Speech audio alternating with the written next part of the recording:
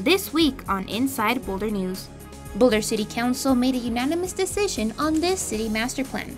Find out how reducing food waste helps combat climate change, and be a part of Boulder Fire Rescue's newest tradition. Welcome to Inside Boulder News, your source for all things Boulder. I'm Jocelyn Avendaño. Each year, the average family of four loses about $1,500 on wasted food. Food waste not only contributes to monetary loss, but also accelerates global climate change. As much as 8% of food waste attributes to global emissions. Join the city on next week as they bring awareness to this issue. The saying goes, don't cry over spilled milk. But spilled milk and other wasted food items are costing the country more than $160 billion every year. Dairy products account for the largest share of food wasted at about $91 billion, which is more than enough reason to cry.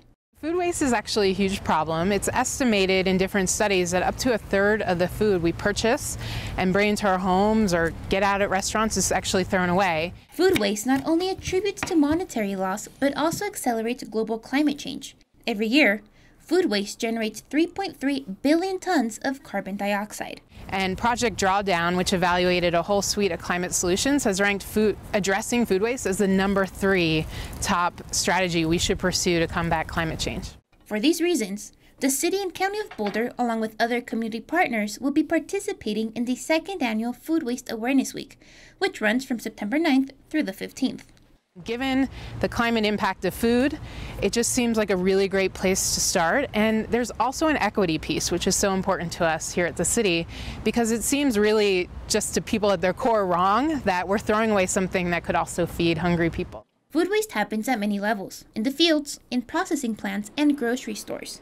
During Food Waste Awareness Week, the city will be focusing on what individuals can do during their day to day lives to reduce waste. There is a panel discussion on Monday at the Post uh, with local nonprofits. There's a roundtable with farmers on Wednesday during the farmers market.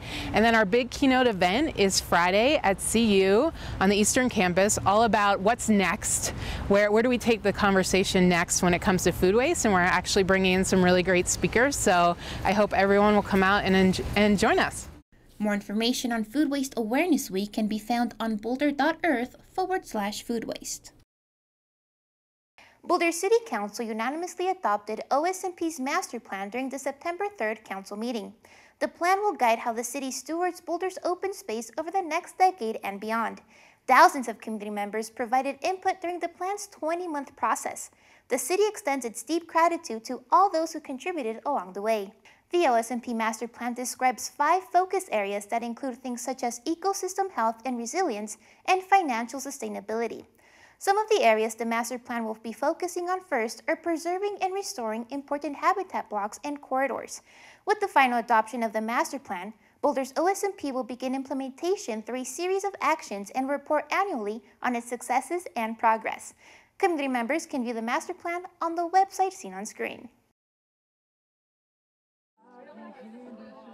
Staff and community members this week celebrated the inauguration of Boulder's first neighborhood Green Street. Dozens gathered at the Olmsted Park and heard from Mayor Suzanne Jones and other key speakers. The celebration also included a dedication to Al Bartlett, Boulder's cycling pioneer. Boulder's first neighborhood Green Street stretches from Canyon Boulevard to Iris Street along the 13th Street corridor.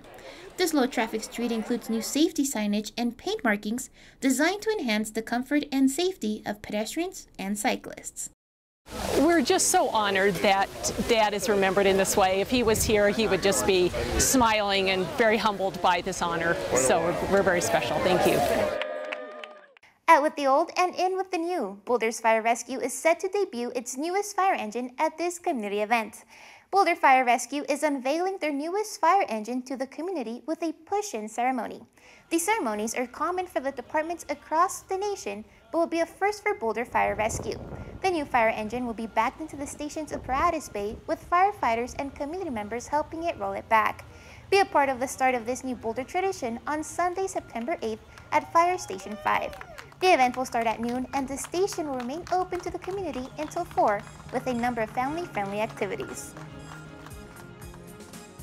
Thank you so much for joining us on this week's edition of Inside Boulder News. If you have pictures, news tips, or events you'd like to see featured, we'd love to hear from you.